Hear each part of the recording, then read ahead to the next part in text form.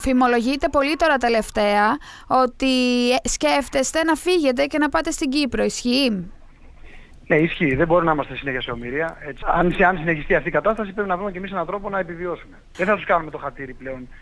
Γιατί δεν είναι θέμα, δεν είναι θέμα ούτε πείσματος, αρχίζουμε και βγαίνουμε ε, αληθινοί πλέον εμείς. Όταν μιλάγαμε και λέγαμε ότι το εμβόλιο ναι, μεν, ε, βοηθάει αυτούς που βοηθάει, δεν είναι όμως όπλο το οποίο θα, θα τελειώσει την πανδημία. Και αυτό αποδείχθηκε παγκοσμίως πλέον.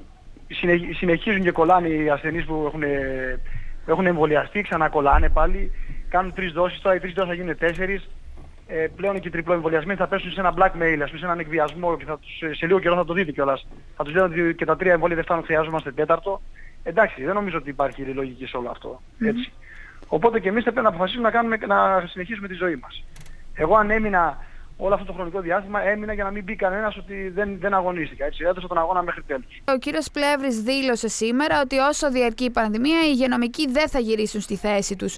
Πώς το σχολιάζετε ε, μόνο, αυτό; Μόνο, μόνο που ο κύριος Πλεύρης είναι ένας νομικός και δεν ξέρω κατά πόσο καλός νομικός είναι. Έτσι, δεν έχει καμιά σχέση με ιατρική και καμιά σχέση με επιστήμη.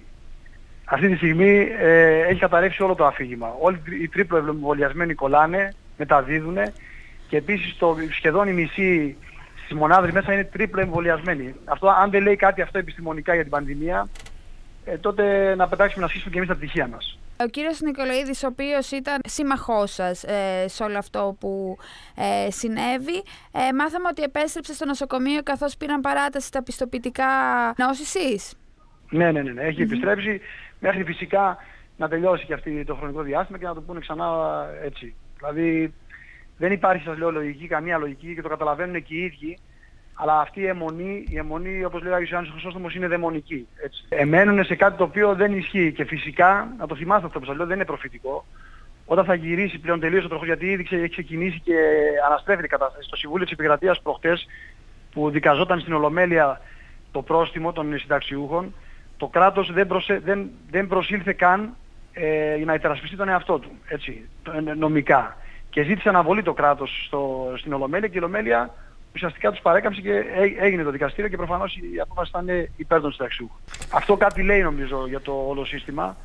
Ε, ήδη πιστεύω κάτι καταλάβανε. Ακούγεται ότι αρκετοί και από τους δικαστές έχουν κολλήσει πλέον με τρι, τριπλά εμβολιασμένοι και οπότε έχουν καταλάβει ότι το αφήγημα έχει καταρρεύσει. Mm. Οι μόνοι που συντηρούν το αφήγημα και σε όλη την Ευρώπη είναι αυτή η συγκεκριμένη κυβέρνηση.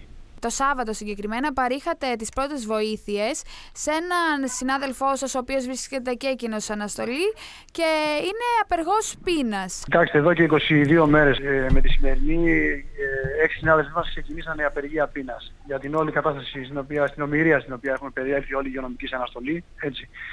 8 μήνες απλήρωτοι, τώρα πλέον και, σε, και χωρίς ασφάλεια ας πούμε. Οπότε ξεκινήσαν αυτή τη θυσία, να την πω έτσι, γιατί είναι αυτοθυσία ουσιαστικά. Είναι αποφασισμένοι, κάποιοι από αυτούς είναι αποφασισμένοι να φτάσουν μέχρι τέλους. Εκεί που μιλάγαμε προχτές με τους ε, υπόλοιπους απεργούς, ξαφνικά ο Νίκος κατέρευσε, λιποθύμησε, κάναμε αρκετά να το συνεφέρουμε, ευτυχώς συνήρθε και νοσηλεύτηκε. Έτσι, νοσηλεύτηκε στο νοσοκομείο. Τώρα η κατάσταση τα πράγματα έχουν οδηγηθεί σε μια κατάσταση ακραία.